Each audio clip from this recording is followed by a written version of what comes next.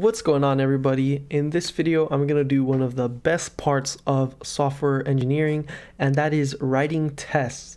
I know a lot of people don't like the sound of that, but it's very important to do if you're working on a serious application. So in this video, we're to do exactly that.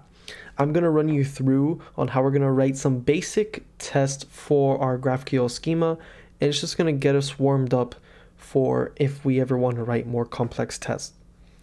So the first thing that we need to do is install some dependencies. So in our case, we're going to be running our test using Jest, the test runner, and we have to configure it to be able to run in TypeScript and in Node.js. So we're going to run uh, or install some dependencies that does that. First of all, we need uh, TS Jest, and they have a new version coming out. Um, so I'm going to put at next, but if you're watching in the future, you probably most likely do not need to put at next. I'm just putting that uh, because they fixed a bug uh, recently. So we need that. We also need Jest, the test runner. We need the types for Jest. And I'm pretty sure that's all we need. So let's go ahead and install those dev dependencies. So now that we have those dependencies installed, we're going to configure Jest to do those things that I just mentioned previously. So to do that, we're going to create a file called jest.config.ts. And in here, we're just going to need an object. We can call it config. And we need to do um, basically export it by default because Jest is going to pick up this file when we pass in, it's going to pick up this object when we pass in the path to this file when we're running Jest. So here we're going to uh, put in our configuration for Jest and in order to make it type safe, we need to actually import the type for this. So I'm going to do that right here. So import type config from at jest slash types. So now here we can just make this config dot initial options. And then now we can set our preset to be ts jest and our test, ooh, what is that? Our test environment to be node. So now that's exactly what we need. So now let's create an npm script which is going to run Jest for us. So I'm just going to make a script here in our package.json called test. It's just going to run Jest and pass in the config environment variable. And we're just going to pass in the name of our config file that has this default export like that and then you can pass in nothing and it will just run any test it finds in your whole project. Or you can be a little bit more specific and pass in a directory where your tests are all located. It's better to do this because Jest sometimes runs files that it thinks are tests but they're not really tests and it's better to keep things organized. So we set up that script. So let's just go ahead and create the file where our tests are going to be located. And ooh I opened something by accident Okay, so let's just make a file and I'm gonna call it healthcheck.ts. And in this file, I'm gonna do exactly what I called it. I'm just gonna do a health check against our GraphQL schema. So to do that, we're gonna first of all need to import the instance of Apollo server where our schema is located at, where we can run uh, operations on our schema. So here, just gonna import our server from our source directory lib apollo server like that. So now we can run operations against our GraphQL schema. And actually, we're not going to be using HTTP to run those requests. Luckily, Apollo server has some built-in functions that you can do something called execute operation, and it just runs an operation against your schema not even over the wire it's just automatically just runs through it. No network uh, connections required. So now let's actually start writing our test and we can just write a function called it. And it takes in a string and a callback. So the string will be us describing the test to the best of our ability and as concise as we can. And the callback is our actual test and what's going to run in our test so here we're going to do runs a health check against our GraphQL schema. And so here we're just going to run our test. So what we want to do is we want to run uh, a query that we had set up in previous videos. And that query is here. It's really just a qu query that takes in an argument, a Boolean argument. And the query is called test. So it takes in a Boolean and it just returns to you whatever you pass it in. So if you pass in the Boolean true, it returns true. If you pass in false, it returns false. I'm just getting rid of these uh, unnecessary lines here. So we're going to use this query to run a health check on our GraphQL schema. So let's do const result is equal to await, because we're going to do a uh, asynchronous operation here. Await server dot execute operation takes in an object and we pass it in a query and this is just a string and we can make it a GraphQL screen, uh, string, sorry, like that. So now we can just do query test boolean is false. Pretty simple. And so now we're gonna be receiving some data from our schema and we want to make sure that we've first of all received data and that the data is what we expect it to be. So what we can do here is we do expect because we expect our result to basically be truthy, which means it's not null, it's not undefined. It has something, we receive some data back.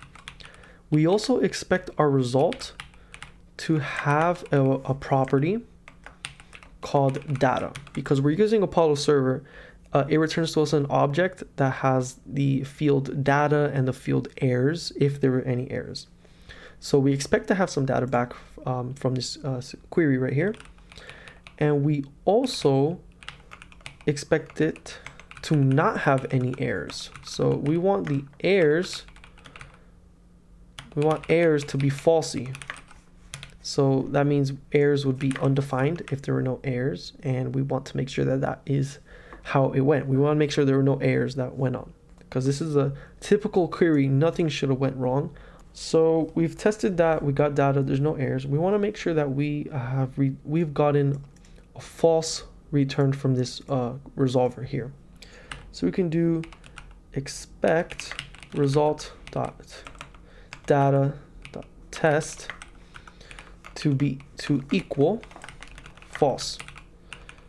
And we can do this, right? So we expect data dot test because that's the query we ran to be false. And if it is false, that means everything worked fine. Now, on the contrary, we can also run a test that makes sure that our schema throws errors whenever it has to throw one. So we're going to do something very similar here, except we want errors to be truthy. And here we want to pa pass an invalid argument. So this is not a boolean, it's an invalid argument. Therefore, our GraphQL schema should take note of that and throw an error. Now, this is not an exactly rigorous test, but I'm just trying to show you the basics, and this is pretty useful. It's just a little health check that it's always good to have, right? So we have this test, and let's actually create another test here. And one really important thing that we can test is we want to make sure that we are testing the server-side validation. So we have some forms on our front end and users can try to log in and it submits that data to our backend. We want to make sure that our validation is working as we expect it to. So here we want to test it should validate user info correctly. So we're just checking our server-side uh, server-side form validation here.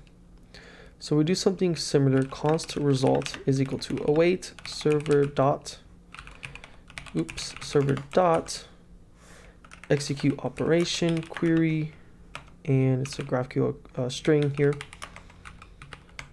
Here, and we do mutation, and we're gonna run the login mutation, and it takes in some credentials. So I'm gonna check over here that I'm doing everything right. Over here, login. It takes in an object that has credentials, so we can do credentials is an object. And that object over here has email username and password. Okay. So here we'll pass an email. And in this case it will be an empty email an empty username and an empty password. Or we can do a valid password or I mean a valid username a valid email and then no password. So we should get an error back because there was no password supplied.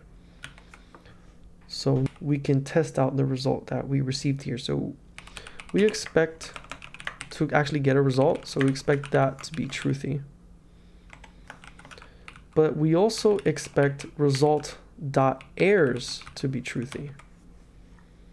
Like so. And this has to be asynchronous. There we go. And so, yeah, these are two pretty solid tests. Uh, we could do better tests. We could make this better, but this serves the purpose of just a quick demonstration. So now we're actually going to run our test, and it's pretty simple. All we got to do is run the command yarn run test, and it's going to run our test. So there you go, it's running the health check file.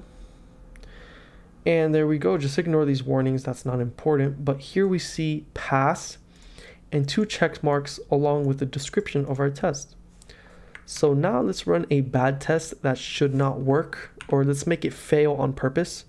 So let's say that we expect there to be no errors, right? So we expect this to be falsy. So we don't expect any errors from this operation. Let's say that we want users to log in with no password, that that's fine with us, right? So let's let's uh, see that there's no errors here. Now this test will fail because our backend does give an error and we're checking to see that there's no errors. So I'm writing a test that will fail just so I can show you how it looks when, when these tests fail. So it's running the test here. And there we see it failed. It gives us a description of which test it was and even the statement that failed. So yeah, I hope you enjoyed this video. And by the way, let me know of any content you're trying to see. Leave a comment down below and I'll definitely take a look at it. So thank you so much for watching and I'll catch you in the next one.